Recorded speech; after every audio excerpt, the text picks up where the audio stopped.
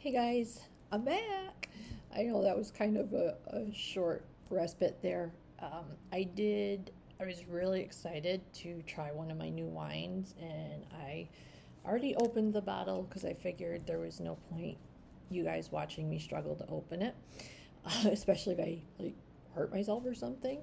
Uh, the one I opened, I want to show y'all, is the Ricord Merlot. Uh, I'm really excited. Merlot and like Cab Sauv, uh, Pinot Noir, um, red blend. I love my reds. I, I drink whites too though, but I really love my reds. So I'm very, very anxious to share this with everybody. So here's my glass, nice little pink glass. I'm gonna pour this in just a little bit. Hope you guys can see me okay. I'm gonna push this back a little bit. Okay. Sniffing it.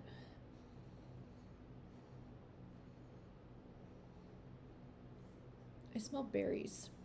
That's what I smell. Um, I'm going to swirl it a little bit. I'm going to take a little taste.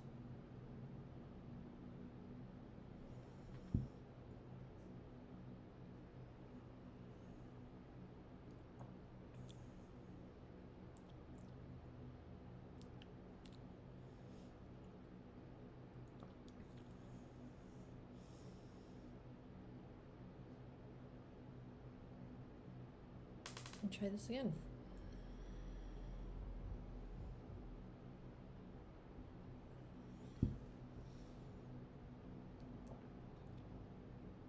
Now, what I'm tasting, everyone, is like berries, but I'm also tasting kind of a smoky flavor.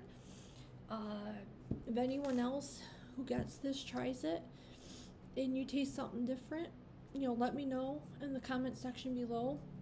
Again, I'll be posting a link to our wine and dine, uh, which is tonight, and I'll have all the times for you guys. I posted it in my other video, but I'll post it in this one as well, just to make sure anyone is welcome to attend. You're kind of going to see um, a little bit of what Wine Ambassador is about.